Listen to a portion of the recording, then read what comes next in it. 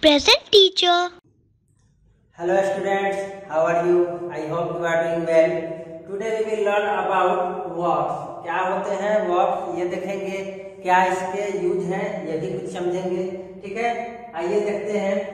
Verbs का description क्या होता है? A verb is a word that shows what someone or something does क्या मतलब हुआ? वर्ब ये बताता है वर्ब एक वर्ड होता है। वो क्या बताता है? वो ये बताता है कि कोई भी व्यक्ति क्या कर रहा है। ठीक है? कोई भी व्यक्ति क्या कर रहा है। It is also called main verb हम लोग इसको मेन वर्ब भी कहते हैं। ठीक है? जैसे रीड पढ़ना राइट लिखना प्ले खेलना रन दौड़ना। ठीक है? अगर मैं लिखूं कि I I I write a letter तो क्या मतलब हुआ इसका? मैं एक लेटर लिखता हूँ। अब यहाँ पे बताइए वर्ब कौन सा है?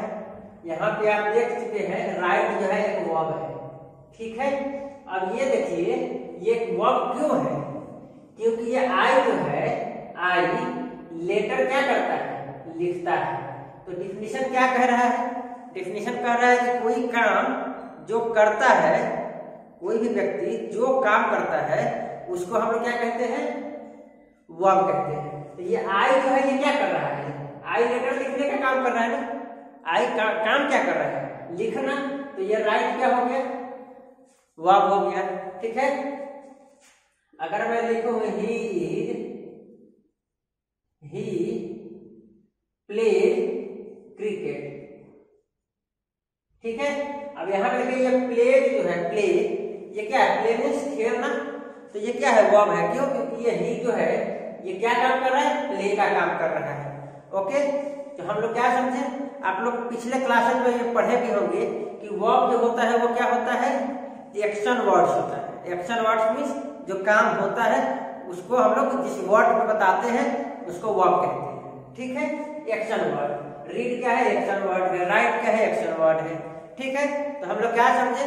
कोई भी समवन और समथिंग कोई भी व्यक्ति या वस्तु, कोई अगर काम कर रहा है वो तो जो काम वो कर रहा है, उसको हम लोग क्या कहेंगे? वर्ब कहेंगे। ओके अब हम लोग वर्ब को हम लोग मेन वर्ब भी कहते हैं। ठीक है? तो ये सब क्या है? मेन वर्ब है। वन मोर पॉइंट इन सब का हिंदी अगर करोगे आप लोग तो इसका हिंदी क्या मिलेगा आपको? रीड मीन्स बताइए, पढ़ना राइट मीन्स लिखना, ठीक है? प्ले मीन्स खेलना रन मीन्स दौड़ना, ये सब क्या है? ये सब वर्ब है ना, क्योंकि यही सब काम हर व्यक्ति करता है, ठीक है? कोई व्यक्ति जो ये सब काम कर रहा है, इन सब कामों को हम लोग क्या कहेंगे? वर्ब कहेंगे। इसलिए इनको हम लोग एक्शन वर्ब भी कहते हैं। अब यहाँ पे देखिए लास्ट में हमेशा ना आ रहा है। ठीक है? तो जो भी वर्ड का ओरिजिनल फॉर्म होता है, उसका हिंदी करोगे तो यूजुअली आपको ऐसा मिलेगा कि लास्ट में क्या मिलेगा? ना मिलेगा। ना लिखा हो। खेलना, दौड़ना, पढ़ना, लिखना, गाना, सुनना, उठना। ठीक है? जो भी वर्ब होगा, उसका हिंदी करो और उसको देखो कि उसके लास्ट में ना आता है कि नहीं। अगर ना आ रहा है तो मोस्ट प्रोबेबली वो क्या होगा? ज़्यादा चांस क्या है उसका? कि वो वर्ब होगा ओके चलिए हेल्पिंग वर्ब आप किसको कहते हैं बताइए? ये तो मेन वर्ब हो गया। इसके लास्ट में हिंदी करोगे तो ना आएगा। और ये क्या होता है? एक्शन वर्ब होता है। एक्शन वर्ड्स होता है। और ये क्या करता है? कोई भी व्यक्ति जो काम करता है, उसको बताता है कि वो क्या कर रहा है। हेल्पिंग वर्ब जो होता है, वो मेन वर्ब को हेल्प करता है। मेन वर्ब मेन वर्ब को हेल्प करता है। क्या होता है? Helping verb is a word that helps the main verb in a sentence ठीक है? कौन कौन से हेल्पिंग वर्ब होते हैं? I sorry am is are was were do does did had have had इतने क्या होते हैं? इतने हेल्पिंग वर्ब्स होते हैं। इनका क्या काम है? ये मेन वर्ब जो कि यहाँ है मेन वर्ब्स इनको हेल्प करते हैं सेंटेंस को कंप्लीट करने में जैसे आई एम प्लेइंग क्रिकेट अब देखिए यहाँ पे प्ले है ना? ये तो मेन वर्ब हो गया, ठीक है? अब देखिए यहाँ पे एम क्या है? इसके साथ आया हुआ है ना? तो ये एम क्या हो गया? हेल्पिंग वर्ब हो गया। तो क्या समझे हम लोग? हेल्पिंग वर्ब क्या होता है? ये ये मेन वर्ब के साथ आता है, ठीक है? और उसकी मदद करता है। सेंटेंस को कंप्लीट करने में ठीक है? चलिए। तो हम लोग क्या समझे? Am is are was verb helping verb है। डू डज डिड ये भी हेल्पिंग वर्ब है। हैज़ हैव हैड ये हेल्पिंग वर्ब है। ठीक है? आप इनको अच्छे से याद रखिएगा, ठीक है? चलिए, कुछ इंपॉर्टेंट पॉइंट्स है नोट्स है, उसको हम लोग देखते हैं। First note do and does कौन कौन सा? Do and does are use for actions done regularly while did is used for the actions done in the past. हम लोग अभी देखे ना डू और डज एंड डिड इसमें से डू और डज का यूज़ होता है, कोई काम अगर बार बार हो रहा हो,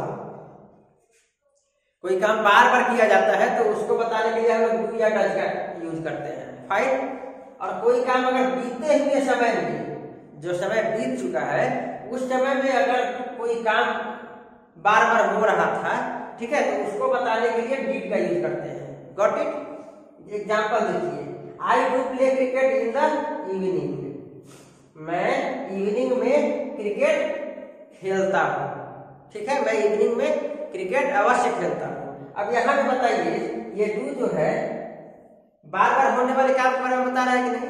वो शाम में रोज खेलता है ना क्रिकेट तो ये क्रिकेट खेलने का काम बार बार होता है शाम में इसलिए यहाँ पे क्या आया है? डू आया है। Okay? He does not complete the homework अब देखिए यहाँ पे डज आया है। ठीक है? वह होमवर्क कंप्लीट नहीं करता है। वो हर बार बार बार होमवर्क कंप्लीट नहीं करता है। ठीक है? तो ये भी काम बार बार हो रहा है। तो बार बार होने वाले काम को दिखाने के लिए हम लोग डू और डज का यूज़ करते हैं। और पास्ट में कोई चीज़ हो रहा हो पास्ट में कोई चीज़ हो रहा हो तो उसको बताने के लिए डिड का यूज़ करते हैं। ठीक है? जैसे he did complete his homework by seven PM वह सात बजे तक अपना होमवर्क कंप्लीट कर लेता था। ठीक है? अब यहाँ पे क्या है? कोई काम पास्ट में हो रहा था। बार बार कर लेता था हर समय। वो रात को सात बजे तक होमवर्क कंप्लीट कर ही लेता था। ठीक है? तो ये काम बार बार हो रहा है, लेकिन कौन से टाइम में? बीते हुए टाइम में। फाइन चलिए। Next is had and had अब यहाँ पे देखिए हैड है हैव है और हैड है। ठीक है? तो हैड और हैव का यूज़ हम लोग कहाँ करते हैं? आइए देखिए। Had and have are use for events in the present ठीक है? While had while had is used for the events that happened in the past कोई काम हैज़ और हैव का यूज़ कब करते हैं? कोई काम अगर अभी जस्ट कंप्लीट हुआ हो तो उसको बताने के लिए हैज़ और हैव का यूज़ करते हैं। और कोई काम बीते हुए समय में कभी कंप्लीट हुआ था तो उसको बताने के लिए हम लोग हैड का यूज़ करते हैं। जैसे मोनू हैड मेनी पेन्स ठीक है? आप बताइए, यहाँ पे हैड का यूज़ हुआ है, ठीक है? ये ये काम अभी हो रहा है ना? अभी उसके पास पेन है ना? मोनू के पास बहुत पेन है। अभी उसके पास है ना पेन? प्रेजेंट में है, ठीक है? तो इसके लिए है यूज़ किए I have two story books मेरे पास दो स्टोरी बुक्स हैं। अब यहाँ पे है यूज़ हुआ है। तो जो काम प्रेजेंट के लिए हो, कोई इवेंट प्रेजेंट में हो, उसको बताने के लिए हम लोग हैव का या हैज़ का यूज़ करते हैं। और कोई काम जो बीत चुका हो पास्ट में तो उसको बताने के लिए हैड का यूज़ करते हैं। जैसे ही प्लेड क्रिकेट वह क्रिकेट बहुत अच्छा खेला। वह क्रिकेट बहुत अच्छा खेला का मतलब क्या हुआ? वो काम बीत चुका है ना? हो चुका है ना पहले? ठीक है? तो उसको बताने के लिए हम लोग हैड का यूज़ किए। आई होप आपको ये समझ में आ गया। ठीक है? चलिए, अब हम लोग देखते हैं am is are am is are are use to show are state of being in the present while was and were are used to show the state in the past क्या मतलब हुआ? देखिए। यहाँ पे एम इज़ और are इन तीनों का यूज़ हम लोग प्रेजेंट में कोई काम है तो उसको बताने के लिए करते हैं। और वाज एंड वर का यूज़ हम लोग प्रेजेंट में पास्ट में कोई काम हुआ। हो पास्ट में कोई काम हो रहा था, उसको बताने के लिए करते हैं।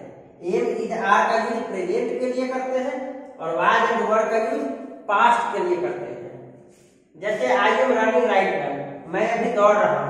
ये काम अभी चल रहा है ना? प्रेजेंट में हो रहा है ना? तो यहाँ पे क्या यूज़ हुआ am fine Kangana is reading a book देखिए यहाँ यूज़ हुआ है कंगना एक किताब पढ़ रही है। अभी हो रहा है ना काम? ठीक है? प्रेजेंट का बात हो रहा है ना? अभी अभी कर रही है ना? तो ये क्या हो गया? प्रेजेंट हो गया। प्रेजेंट में बताने के लिए हम लोग। एम और इज़ का यूज़ देते। अब देखिए दे आर प्लेइंग टेनिस वे लोग क्रिकेट खेल रहे हैं। ये काम भी प्रेजेंट में हो रहा है तो आर का यूज़ किए। ओके अब देखिए, अगला दोनों देखिए। He was writing a letter वह एक लेटर लिख रही थी। थी। अब ये बीत चुका है ना? टाइम बीत चुका है। तो उसको बताने के लिए हम लोग वाज का यूज़ किए। दे वर ड्राइंग पिक्चर्स वे लोग पिक्चर ड्रॉ कर रहे थे। अब ये भी बीता हुआ समय में का बात कर रहे हैं तो वर का यूज़ किए। तो क्या समझे हम लोग? एम इज़ आर का यूज़ हम लोग प्रेजेंट में कोई काम के बारे में बताना हो तो उसके लिए करते हैं। वाज एंड वर्ड का यूज़ हम लोग पास्ट में कोई काम के लिए बताते हैं। आई होप आपको ये समझ में आया होगा। ठीक है? हम लोग वर्ब क्या जानते हैं? वर्ब क्या होता है? कोई भी व्यक्ति कुछ काम करता है, उस काम को वर्ब कहते हैं। ठीक है? इसको हम लोग मेन वर्ब भी कहते हैं। रीड राइट क्या है? मेन वर्ब है। हेल्पिंग वर्ब मेन वर्ब्स की हेल्प करते हैं। ओके अभी हम लोग देखें कैसे हेल्प करते हैं। I hope you got it very well. Okay, thank you.